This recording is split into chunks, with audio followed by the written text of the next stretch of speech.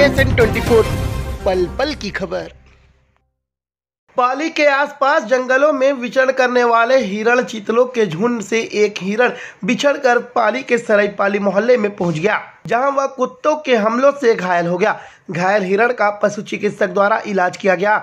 बताया जा रहा है कि बुधवार दोपहर तीन बजे हिरणों का समूह सरायपाली जंगल के पास था। इसी बीच वहाँ कुछ कुत्ते पहुँच गए। कुत्तों को देखकर झुंड में अफरा तफरी मच गई, जिससे एक हिरन झुंड से अलग थलग हो गया, जिसे आवारा कुत्तों ने नोच नोच कर लहूलुहान कर दिया। आसपास खड़े लोगों ने घायल हिरण को कुत्तों के चुंगल से अलग किया और उसे सुरक्षित कब्जे में लेकर वन विभाग और डायल 112 को सूचना दी।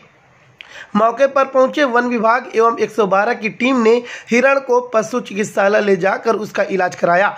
हम आपको बता दें कि पाली के आसपास 8 से 10 किलोमीटर के दायरे में हिरण का अस्थायी रहवास है, जो कि गर्मी के दिनों में चारे और पानी की तलाश में आबादी क्षेत्रों में पहुँच जाते हैं और यहाँ आवारा कुत्तों का शिकार बन जाते हैं।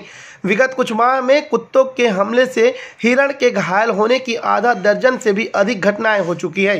पाली वन परिक्षेत्र में प्रतिवर्ष एक दर्जन से भी अधिक हिरण सड़क दुर्घटना अथवा कुत्तों के हमले में अकाल मौत का भी शिकार हो जाते हैं। के एस न्यूज़ के लिए कोरबा से संतोष दीवान की रिपोर्ट।